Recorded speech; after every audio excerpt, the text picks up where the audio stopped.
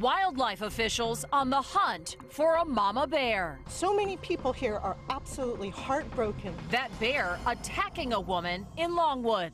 It's not the bear's fault. The woman survived, but the bear may not.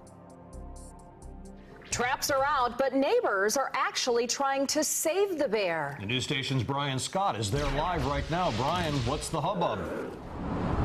Well, check it out. This is in this busy 434 corridor, but over here, that's actually where the neighborhood is. Take a look beyond that fence. It looks like a small forest back there. Neighbors tell me they try to keep it very natural over there, very animal friendly, and they are livid that that bear might be killed.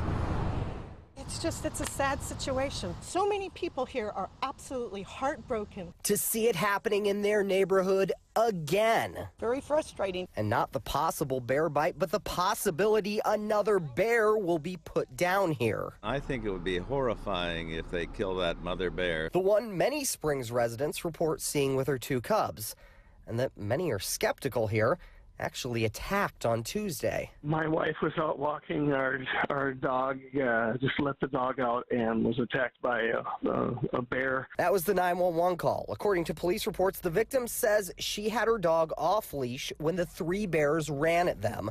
She fell twice, she says, before she thinks the bear bit her heel. But she admitted in that police report she wasn't certain that bear actually bit or scratched her. But because it's a reported attack, the Florida Wildlife Commission says the mama bear must be euthanized if caught and the baby bears relocated. They've got traps set for her now. Tons of love for the bears here. Nobody wants to see this mama bear die. Angie Beers among the many here trying to change FWC's mind on this one. This is a great place where people and nature really do coexist. They only use bear-proof trash cans here. Volunteers hand out bear whistles and bear education.